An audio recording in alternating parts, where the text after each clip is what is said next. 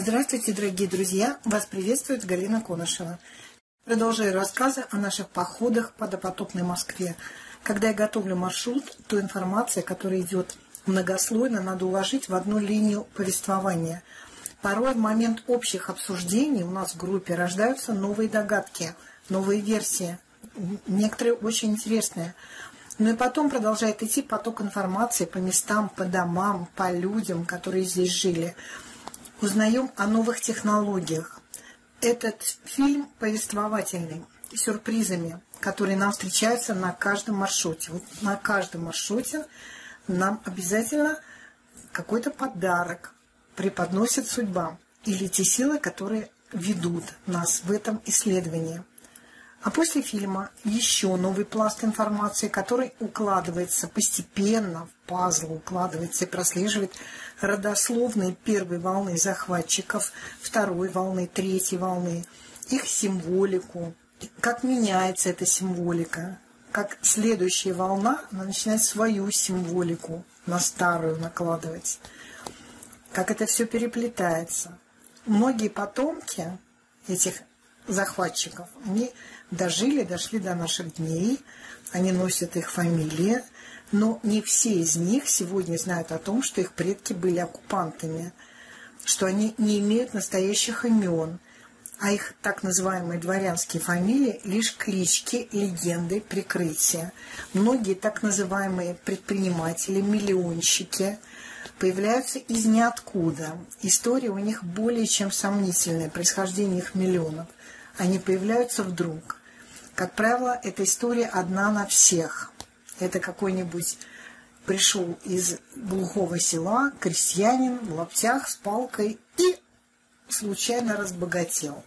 Вот примерно такая история одна на всех. И так после этого похода надо будет делать обязательно продолжение – по теме и той новой информации, которая приходит после маршрутов, после прогулок. Бывает, не одна прогулка пройдет, и идет новый поток информации, очень важный. Очень хочется вам это все рассказать, зафиксировать, оставить в памяти и по теме технологий, а также по теме сиротских домов. Это очень важная, интересная тема. Итак, этот маршрут – это Кузнецкий мост, пересечение Кузнецкого моста, улица Рождественки, Звонарский переулок, улица Петровка, Крапивинский переулок, Успенский переулок. Ну, по нам я сделала короткий ролик, но там очень много важной информации, которая осталась за кадром, и надо будет делать отдельный ролик. Но не все сразу, все, все сразу не получается. Ну, шаг за шагом, постепенно постепенно все покажу. У меня своя версия, я знаю, что многие блогеры, они также рассказывают о Москве, но вы знаете, что я занимаюсь своей информационной линией, веду, которая, в общем-то, отличается от многих блогеров. Поэтому я, так сказать, иду своим путем. И мне попадается тоже очень интересная, уникальная информация, которой нет у других блогеров. Все вышли? Потом расскажешь. Нет, еще ждем.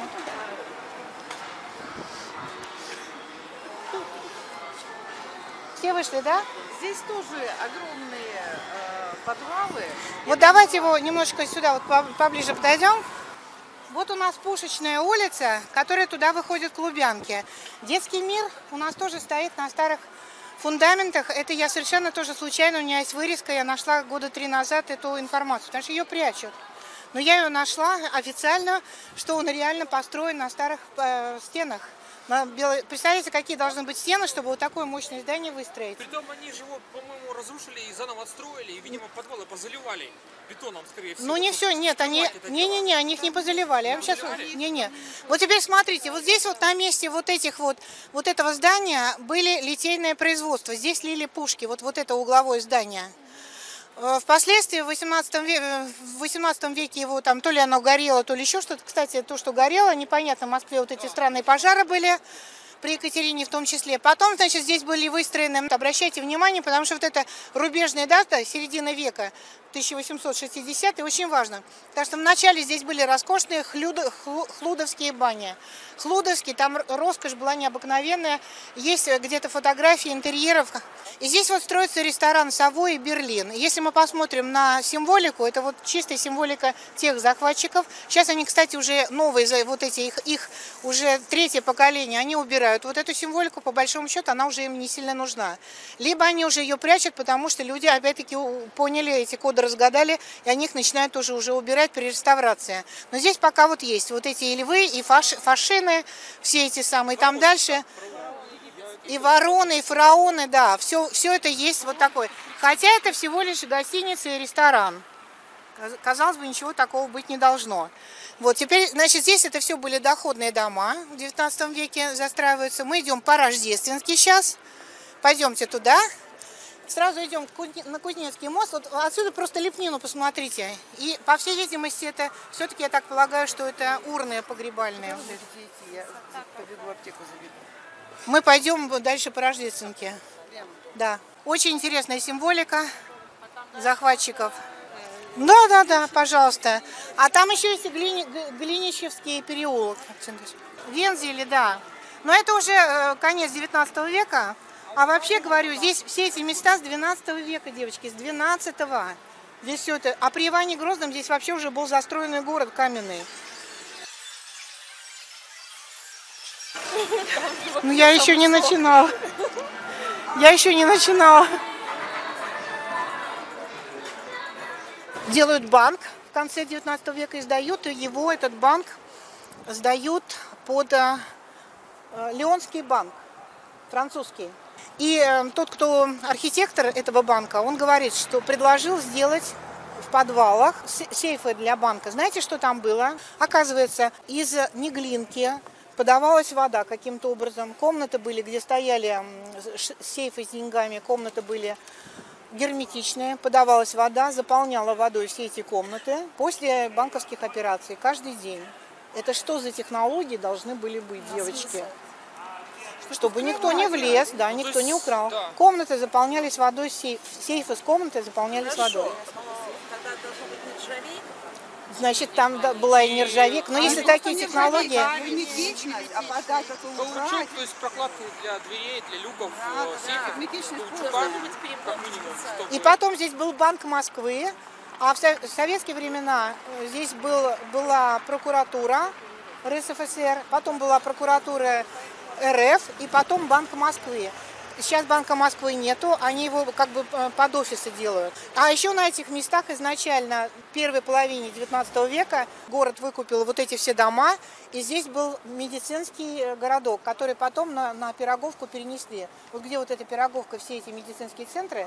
И с медициной тут очень все очень, очень связано, потому что вот этот дом принадлежал Вере Ивановне Ферсановой, Вера Ивановна, вот видите, уйти невозможно. По Вере Ивановне Ферсановой я сделаю отдельный ролик. Опять бордюры.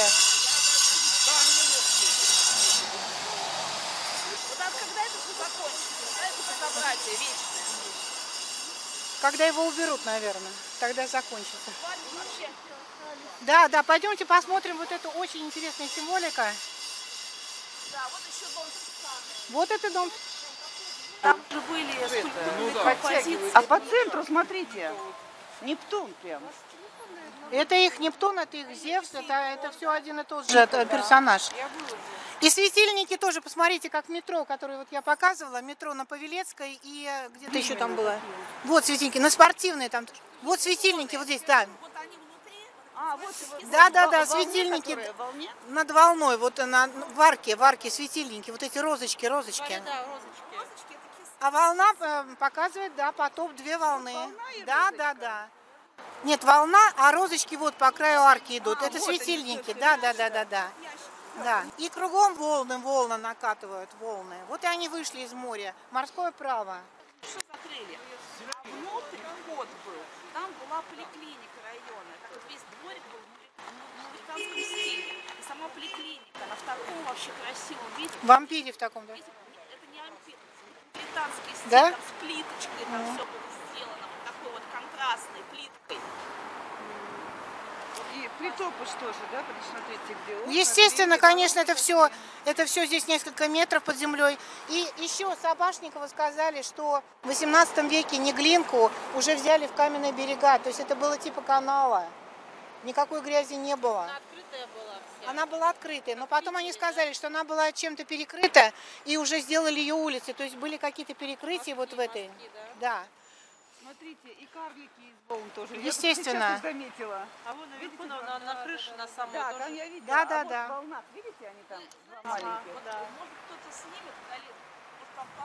Символику дома Ферсановой надо разбирать отдельно. Это что-то необыкновенное. Очень насыщенная символика. Здравствуй, стала посмертная маска. Да. Не, ну. Посмотрите, посмотрите, там должны были быть Тоже факелы, маска. правильно? Факелы И должны вот были. маска. Вот смотрите, масок Не, сколько. ну вообще действительно, как будто Как это... мавзолей, да? Ну, да? крематорий. Ну да, и посмертные венки сверху как бы. Очень символично. Министерство здравоохранения украшено посмертными И, естественно, видите, что он засыпанные тоже окна. И какая-то сберкасса. Как это может быть сберкасса?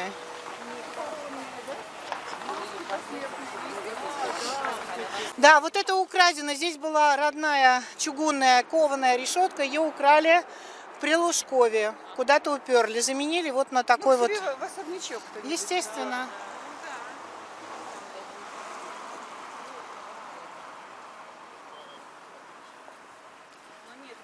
Скорее всего, это, это крематорий. Конечно, это И здесь вот, вот эта погребальная маска, это, это, Смотрите, сколько Да. погребальные. это символика именно скорби, Да. смерти.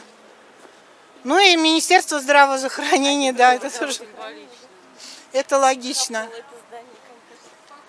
Вот там, там что-то такое частично надстроено, но старые дома сохранились в глубине. Да, а посмотрите, какой был вход.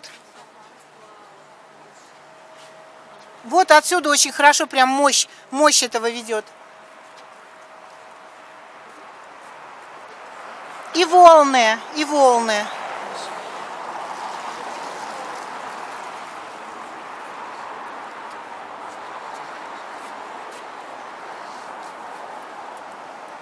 Это здание, оно один в один, как в здании в Одинбурге. Есть такой город Одинбург, очень похожий, вот там с фасада. Здесь был Петрокоммерц. Я здесь работала в 1800, 1984 году.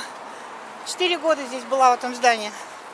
Там огроменные подвалы, огроменные этажи закопанные вниз. Полноценно. Вот здесь вот один этаж закопан, вы- высота 4 метра. Сейчас мы идем по Рахмановскому переулку. Мимо здания Петровка 24. Сейчас повернем на Петровку и к знаменитому Крапивинскому дому. Вот теперь смотрите, на той фотографии начала 20 века, когда изучала, вот это здание было полуразрушено, его устанавливали, а вот это, здание было уже, а его считают, что они тоже его построили в начале 20 века, а его нигде нету. И нету ни, ни одной фотографии, как, как бы это место выглядело. То есть дом уже стоял. Вот это было разрушено здание, его якобы строили, а вот этот дом уже был. Так и он и мог быть и не разрушен, потому что, знаете, он из такого же вот этого мощнейшего камня сделан.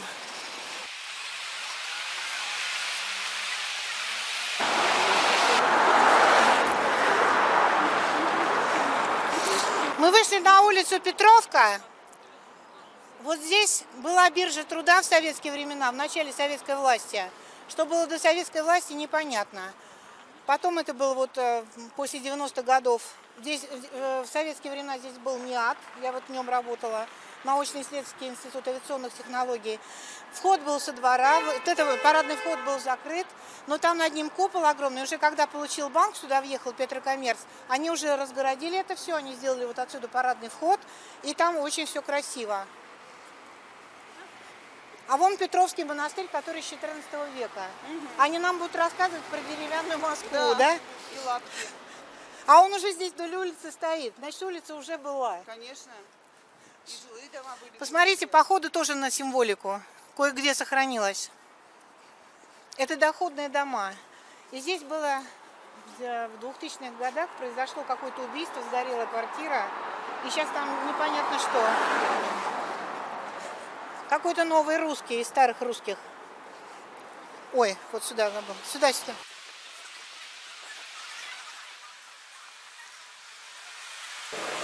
Вот даже отсюда видно, что входы в подвалы, вот я говорю, у нас, когда мы работали в Няте, вход был, вход был отсюда. И туда заходишь, сюда был вход, да. И здесь вот внизу были огромные широкие пролеты с широченными лестницами. Был вход на минус первый этаж, это туалет там был. А там за минус первым этажом был еще темень, и был точно такой же пролет, еще один этаж огроменный. Но туда мне было страшно. Я просто туда заглядывала, в эту вот, как, как в бездну в какую-то заглядывала. Что там было? Ну, одной мне было страшно. Все-таки мне было 24 года, я была хороша собой, меня могли прижать там, и все, где-нибудь в углу. Разрушается, к сожалению, уникальный дом. Сейчас там во дворе, я про него расскажу. Вообще про это место. Не вам... Они... А смысл какой? Они сделали в красно-черно-белом кирпиче вот это все дело, ну, для того, чтобы э, якобы показать, что теперь в Константинове, в Константинополе теперь мусульмане. Нормально, так что православные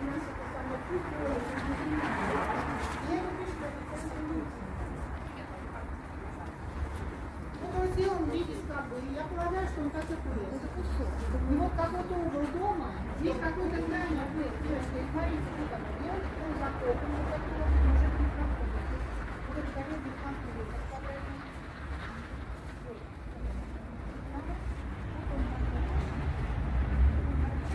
как чередовался, вот тоже делался. Он нам встречается, но он вот высыпается, это белый кирпич. Он нам встречался там на Красно... Краснопресненской. И горелый тоже, весь горелый. А теперь пошли смотреть. Что, открыто?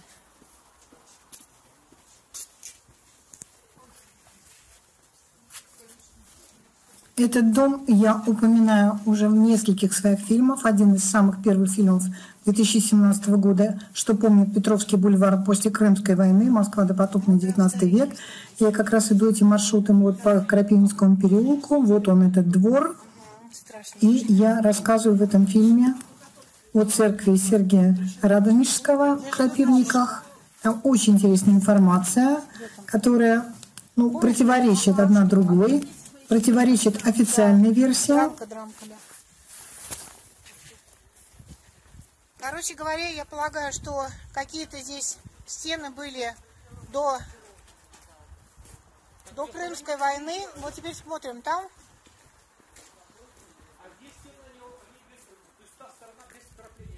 Вот здесь бабушка, вот в этом она подъезде жила, да? Да, да, здесь. Да, вот в этом, да. Она отсюда вышла, вылезла. Да, да, да.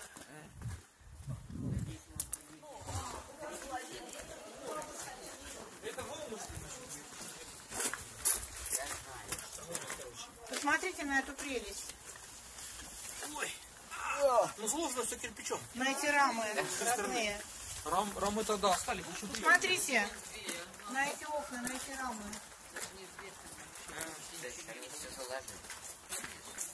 Это может быть еще и родные рамы даже. Такое ощущение. С 19 века. Да, просто бросили и все. Сетки, это еще при СССР. И подъезд был там, вход где-то настоящий, потом вот сделали сюда. Здесь вот ходить страшно уже. Но дом разрушается. Доставка дома.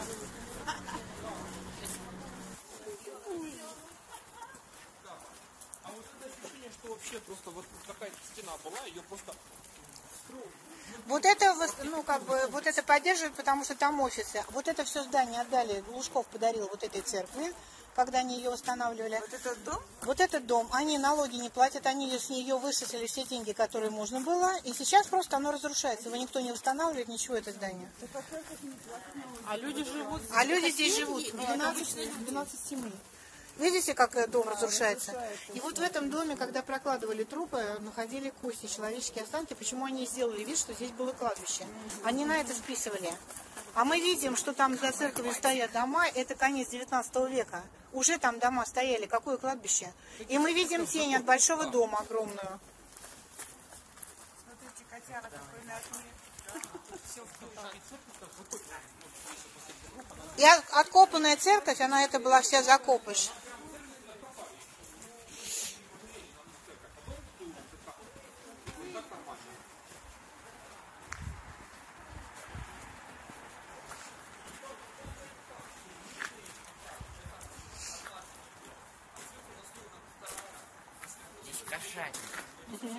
Ну, здесь мышь не крыса.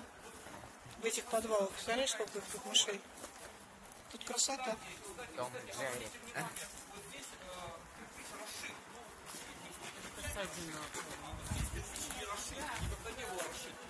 Значит, вот это вот как бы отдельно строился этаж. Достроился, да. Вот это могло все в 19 веке Да. достраиваться, вот это было раньше.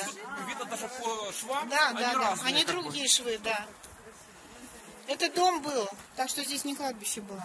А кладбище здесь вот немножко остались могилы, вот они уже, они были все под землей, никто про них не знал. Даже в советские времена никто не знал, потому что вот это все раскапывать стали после того, как передали церкви. Кстати, с этой церковью тоже очень интересная история. Она там несколько раз пустовала в 1800 э, середине 19 века, и ее хотели разобрать на кирпичи, вот эту церковь Сергиевская, потому что здесь не было прихожан. Куда делись, кстати, люди? Почему ее хотели разобрать? Потому что не было прихожан. Но ее отстояли.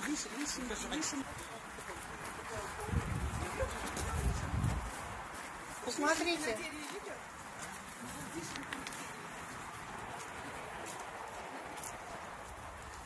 Белый камень, э, нагробные плиты.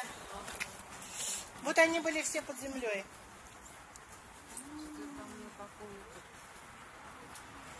А вот это вот, на, стене это что? Да, это тоже надгробные плиты, которые здесь были под землей, когда они откопали, да. Когда они вот эту землю откапывали, они их нашли. именно здесь, Да, да? да. А там приклеено было? Нет, нет, это они просто поставили. Они были под землей, валялись, вот оказались все под землей, все эти плиты. А вот про этот дом, экскурсовод, я когда первый раз ходила, мне попалась экскурсия, она сказала, у нее спрашивают, что окна в земле? Говорит, да, да, окна в земле, потому что Москва, вот культурный слой, рост на один метр сто лет. Четко, да. Я это записала, зафиксировала, у меня есть фильме. Ничего себе скорость. Мы выходим на Петровский бульвар. Я пропускаю интереснейшую часть по самому Петровскому бульвару, по Петровскому монастырю, по улице Петровка. И мы выходим на Успенский переулок, идем по нему. И еще небольшой, вот небольшой подарок нам сделала, сделала судьба, что называется. Мы заглядываем во двор Успенского переулка, одного из домов. Мы обращаем внимание на скульптуры. Еще не знаем, чьи это скульптуры, кто там живет. И для нас был сюрприз. Среди многих скульптур мы обратили внимание именно на две. Это женщина с ребенком, как нам показалось, падает под волной. И еще одна скульптура нагромождение тел человеческих, которые как бы под завалами. То есть мы, естественно, сразу обратили внимание на это, потому что это та самая наша тема. Мы сравнили со скульптурой Анны Голубкиной на МХАТе в Камергерском переулке. Я делала целый фильм на эту тему «Спрячь на видном месте». Анна Голубкина тоже показала именно катастрофу, а не просто пловца какого-то, который плывет. Там были также фрагменты тел, фрагменты лиц. Ну и вот на эти фигуры мы тоже здесь, в этом Успенском переулке, обратили внимание, на эти скульптуры. И оказалось, что мы абсолютно правы. Это нам подтвердил сам автор, скульптор. Оказывается, здесь, в Успенском переулке, мы зашли во дворик, и стояли скульптуры известного современного скульптора Фрида Сагаяна, который к нам вышел, когда мы рассматривали его скульптуры. Оказался очень приятный человек, харизматичный, простой. И мне сложилось такое впечатление, если бы мы его попросили, может быть, он нас бы и впустил и показал бы нам изнутри свою мастерскую. Ну, может быть и нет. Так нам показалось. Смотреть памятник, который установлен в Армении, посвященный А 911, да? Это землетрясение? Что? Значит, все равно это похоже, да, ситуация? Это же похоже? Вот когда они делают похожие памятники, значит, это же не просто так они их делают. А вот, а вот А вот что А женщина? непонятно кто. А следующая там волна? Это что? Да, вот сейчас спрашивают. Это цунами, помните, было? Что было? Цунами. Мы правильно все это? Да, спасибо, очень интересно. А как вас зовут? А как вас зовут? Меня Ваги зовут. А фамилия ваша как? Соболев. Тут отца работает, мои. И отец у вас. Да, отец. То есть Ленин это его? Ленин это вот отечество. Помните, такой? Конечно. Да, конечно. Его жена И здесь у вас мастерская, да? Спасаете, да? Что, Ленин? Ленина дайте рабу. Ну, Ленина жалко выбрасывать. Не, жалко, не Вот выбрасывайте. этот и вот этот. Да, не выбрасывайте. Как здорово вообще. Спасибо. Спасибо большое. Мы правильно все угадали.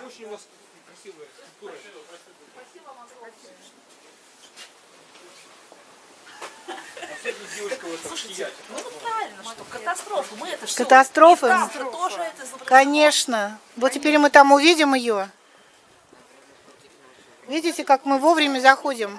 У нас всегда что-то, какие-то подарки. А? Если они это сделали на эмблеме театра рядом, плюс еще этот буревестник на шляпе, Да. значит, что они этим хотели сказать? Надо же катастрофу хотели показать. не только, а вот какой-то прогноз на будущее. Думаю, все-таки они что-то показывали вот из того времени, что здесь было. Или установление нового порядка. Может быть. Понимаете, тоже может быть. Потому что демонические эти ложи везде, потом вот это. Нет,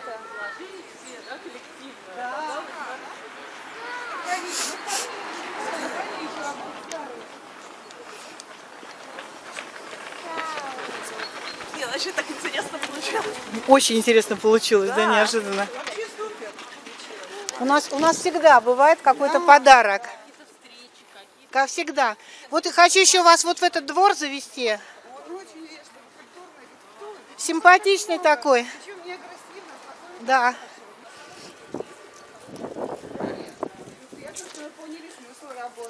Смотрите, вот здесь вот они закрыли, там очень глубокий вход вниз. Вот здесь подпорка, контурфост отдельных зданий, что они были целый комплекс, крылья.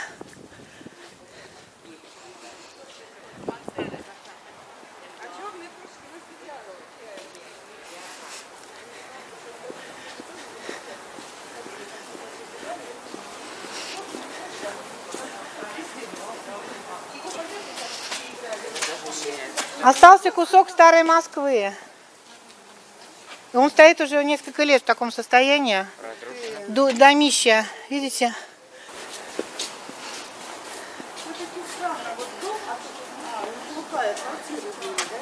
Он подозрительно.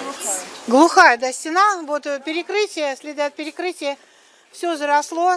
Сюда подгребли. Под нами еще этажи. Но это все завалено. Деревья растут вниз. Вот был домик тоже.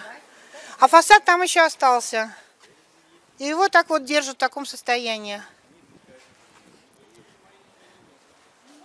Воздуховоды. Тепло, кстати, идет оттуда. Вот тепло прям, теплый воздух. Да. Это метро или нет? Нет, это еще не метро. Вот, теперь пошли туда. Пойдемте, выйдем на Малую Дмитровку и будем продвигаться уже потихонечку в сторону кафе, к Страстному бульвару.